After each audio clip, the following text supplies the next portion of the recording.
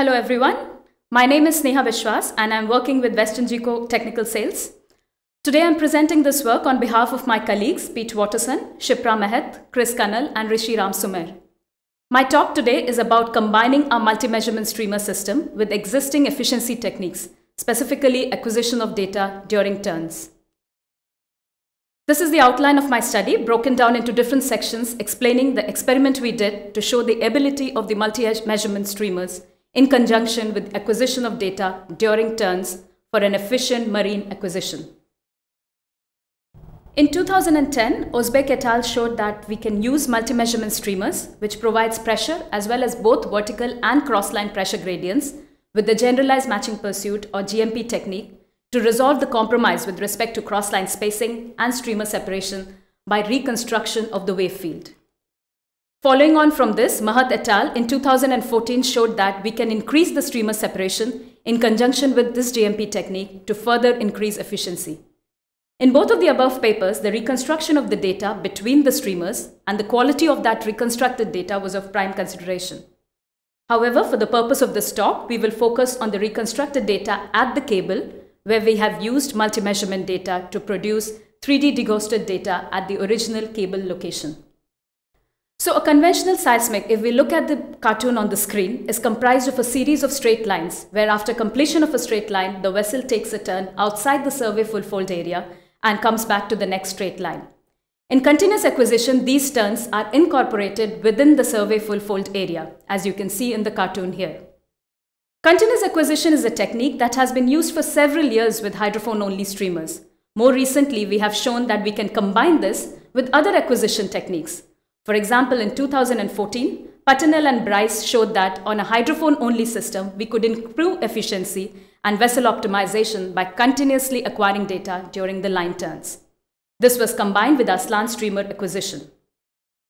Acquiring data in turns is beneficial in that the line change time is potentially reduced to zero, the vessel is continuously in production mode, and this method has a potential for 100% vessel utilization. Also, this enables us to acquire data in areas where previously we could not have reached because of the turns, such as close to restricted zones, shallow waters, underwater obstructions, close to block or national boundaries, etc. The aim of the study and subsequent talk is therefore to show how we can combine our multi-measurement streamer system with acquiring data during the turns to further increase our efficiency. In 2014, we acquired a test line in the Barents Sea 12 streamers, each of 7 kilometers long, were towed at a separation of 75 meters, and the streamers were towed flat at a depth of 25 meters. The turn radius was 6.5 kilometers. The plot on the right hand side of the screen shows the geometry for the line for three representative cables only. Throughout the presentation, I'll refer to the segments as straight, initial turn, and full turn. These represent the streamer shape from the straight and parallel through to the full turn. One thing to be remembered here is that the main limitation of the study is that we are comparing straight with curved lines and they do not necessarily cover the same geology. However, in terms of comparing the overall data quality and signal to noise ratio, we are considering data acquired at the same time with the same acquisition equipment in the same area. The starting point for the processing flow was after acquisition data conditioning, Following this, we performed the GMP preconditioning and subsequent GMP wavefield reconstruction and separation. The majority of the analysis were performed at this stage and were in the form of both quantitative and qualitative analysis performed at shot and stack levels. The GMP data was then taken through further processing sequence, which included designature and zero phasing, demultiple using SRME, and then a 2D Kirchhoff pre-stack time migration. This was done to assess the consequences of having acquired the data during turns, which could possibly be identified in some downstream processing. Additional QC was done at stack level on this dataset. So we applied the standard GMP preconditioning workflow. This is a flow which we have developed based on our experience of acquiring and processing multi-measurement streamer data. This workflow consisted of the data post-acquisition conditioning at 3.125 meters spacing for all the three measurements, P, Y, and Z. Residual noise attenuation, which targeted anomalously low and high frequency noise, was then applied. Unit conversion was then performed along with receiver motion correction, and the data was spatially resampled to 6.25 meters. Signal protected noise attenuation was applied, and this was aimed at attenuation of residual low frequency noise, specifically tug noise from the cables. Details of this flow and the signal protected noise attenuation are available in a separate publication. Due to the very severe levels of cross-flow noise remnant after the acquisition data conditioning, we had to apply additional noise attenuation in the form of singular value decomposition or SVD noise attenuation. This method was presented by Moldoveanu in 2011 and proved to be very successful in the attenuation of this cross-flow noise experienced during the turns on hydrophone-only data and has become a standard processing step for all the acquisition in turns. Hence, it was relatively straightforward for us to take the flow and adapt it to the multi-measurement data. Before we go into the details of analysis and processing, allow me to now jump forward to the 2D stack post-migration. This is effectively the final result of the experiment. From this section, it was not obvious that the data was affected during turns in terms of noise increase or signal degradation. The first section on the display repre represents the data when the cables were straight then in the initial turn, and then in the full turn where the cables were fully curved. Let us now go back to, and look at the early processing sequence and the data. Now looking back to the details of analysis and processing, these plots represent the data after acquisition data conditioning. The left plot is the hydrophone data, the middle represents the vertical accelerometer data, and this represents any energy that is going down and reflected back. The right plot is the crossline accelerometer data and this represents any energy which is moving across the spread. The hydrophone data is very clean and the accelerometers exhibit the typical noise levels that we expect from this early stage of processing. These plots represent the data after SVD and residual attenuation.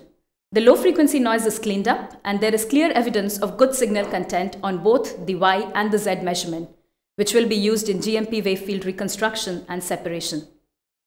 We can see that we have some interesting cross-line energy on the Y measurement that complements the more prominent events that we see on the Z measurement.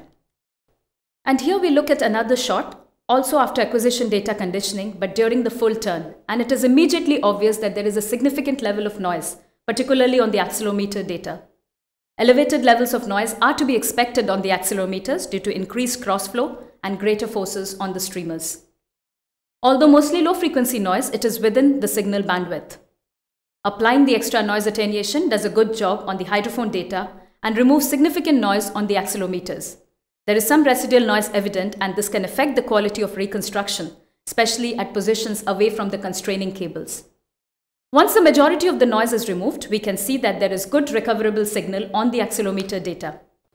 The yellow arrow highlights here just one of the many instances where we see good signal. In this case, we see the event which can be correlated across Y and P but not represented on Z. This shows the complementary nature of the Y and Z measurements. As mentioned earlier, we use the three measurements and the GMP algorithm to reconstruct and separate the wave field into its up and downgoing constituents. Now, if the wave field separation is done correctly, the separated up and downgoing wave fields can then be recombined to generate the total pressure wave field. If the process has worked as expected and we successfully have separated out the energy into its two components, that is the up and downgoing components, this total pressure wave field should be almost identical to the total pressure wave field as originally measured by the hydrophone alone. Hence, if we take the difference of the two, the difference should be close to zero, with the exception of some noise and any elements of the wave field that we have chosen not to reconstruct. The left-hand plot represents the hydrophone, the middle the GMP, and right the difference. The difference shows the linear residual tug noise which was not reconstructed as a part of the wave field, as well as the early arrivals which were initially intentionally filtered out by the GMP through user parameter selection. This attenuation of the tug noise is a benefit of the wave field reconstruction technique as the noise being individual to each cable is not reconstructed, leading to the deghosted output data being much cleaner than the measurements as input to the process. Scaling the energy by 10 illustrates the noise but very little evidence of any signal loss. For the turn data, we see similar results in terms of very little signal loss and more noise on the difference plots. Again, we see that the GMP does not reconstruct this noise that is individual to each cable. And in this case, we see that the level of noise we are attenuating in this way has increased. Scaling by 10 shows the same and once again there is very little evidence of signal loss. We can now extend the same analysis to the stack level. Hence, here we compare again the measured pressure from the hydrophone data with the summed output of the upgoing and downgoing data output by the reconstruction process and look at the difference. Note that when we do this analysis for the straight section, we see that the difference mainly contains the linear dipping noise. There is some low level of signal leakage observed in the shallow, even scaling it at 10 times. When we do the same analysis for the stack section, for the turn data, we see that the results exhibit similar characteristics as the straight section, where we observe some low level of signal leakage, but mainly noise on the difference plots. And here I have scaled it by 10. We will now focus on some quantitative analysis. Three windows were selected in the shallow. One represents the straight, the second the initial turn, and one in the area of full turn. We then make our best estimate of the signal and noise separately and perform spectral analysis on this. The solid line represents the signal and the dash the noise floor. Obviously, there are limitations to how successfully we can separate the signal from the noise in any seismic processing exercise. However, for the purpose of these type of comparisons, we find that the spectral analysis done in this form is more informative. In this example, blue represents the hydrophone total wave field for cable 1 and green the GMP total. As mentioned previously, if we have a good wave field separation, we would expect a good match between the two, and the curves should not deviate significantly from each other. At this scale, this appears to be the case. However, we need to examine the data more carefully to see if there is any deviation at all. For this acquisition, we towed the cable deep at 25 meters and hence we expect to see the first pressure notch at 30 Hz. If we zoom into the plot and focus on the 30 Hz area where we expect the pressure notch, we do not see a deviation from the two curves by more than 0.5 decibels or even less over a limited frequency range. This can be observed to be the case for all the three plots and therefore gives us the confidence in the wave field reconstruction and separation for both the straight line and the curved line section of the acquisition. Moving on to an additional metric that we can use to assess the quality of the reconstruction, we can generate some repeatability analysis. Because the locations of the GMP total wave field and the hydrophone total wave field are identical and the signal content should be very similar, we can use the metrics that we employ in 4D analysis. We take a window in the shallow where we have good signal to noise ratio and compute the following. Phase rotation, time shift, cross correlation coefficient and amplitude scalar. For all the plots, we want to be as close as possible to the red line. In this case, the first, second and fourth plots should be zero crossing and the third one, the red line is closer to 1. As we move from straight to turn data, it is not evident that there is a large deterioration in the 4D matching. Although we do see that as we move to the right, there is a slight increase in deviation from where we want the plots to be. This additional analysis gives us further confidence in the quality of wave field reconstruction and separation. Having analyzed extensively the data at short and stack level early in the processing, we would now like to take the data through additional processing sequence to confirm that the quality of turn data does not deteriorate with further processing.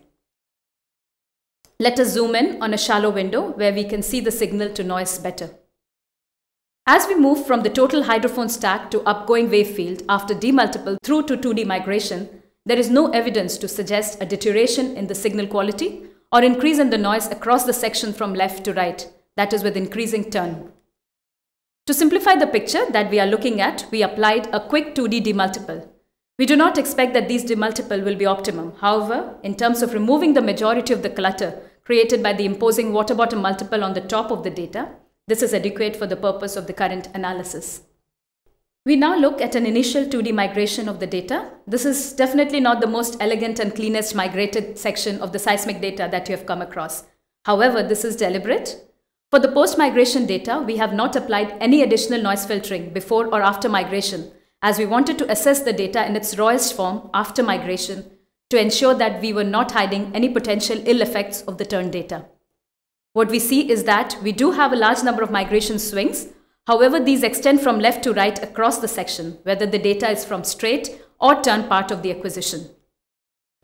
And this is the slide that I showed earlier in the presentation as the final result of the analysis that we have done up to this point. To conclude, in this paper, we have evaluated the use of multi-measurement streamer technology during turns, an approach that can improve productivity of marine seismic acquisition programs.